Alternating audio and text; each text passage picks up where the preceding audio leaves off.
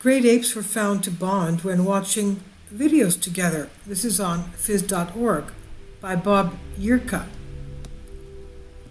Researchers affiliated with Duke University and the Max Planck Institute for Evolutionary Anthropology found that great apes tend to bond with one another when they watch video together.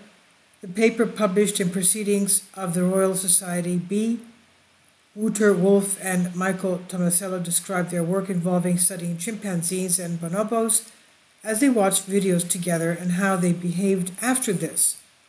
Most people have experienced feeling of bonding with another person or even several people when watching a movie or TV show together, and until now, behavioral scientists believed such feelings were restricted to humans. Well, in this new effort, Wolf and Tomasello show that the great apes have similar experiences to what people have, especially when they're watching feel good movies. The experiments involving seated, seating pairs of chimps together in front of a television so that they could watch a video. And researchers took measurements of bonding type behavior after the video was over. Then they compared the behavior they observed with a control group. They report that chimps that watched the videos together engaged in more bonding type of behavior. The videos watched by the chimps were of other chimps engaging in various activities. Prior research had shown it was their favorite subject, watching other chimps. And the chimps were encouraged to remain in place watching the video by feeding them grape juice. Bonding type interactions described as touching, how long they stayed in proximity with one another, and how much they paid attention to one another. The researchers also used eye tracking systems to show that the chimps were actually watching the video. The researchers paired up bonobos in the same fashion and also human chimp pairs. They report that in all instances, increased bonding was observed for those participating in the shared social events.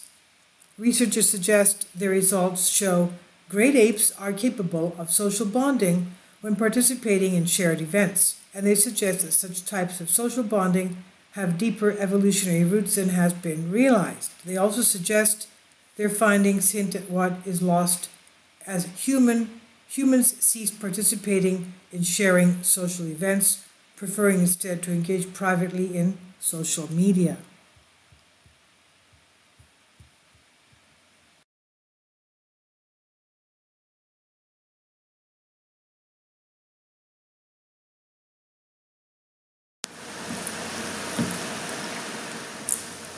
If you'd like to join me on my Patreon account, you will hear content not covered by mainstream media.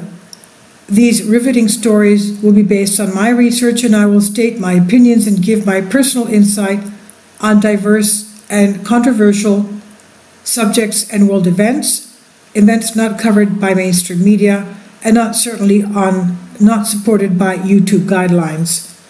So whatever I have on my Patreon most of those will not be on my YouTube channel. Please consider becoming a member today.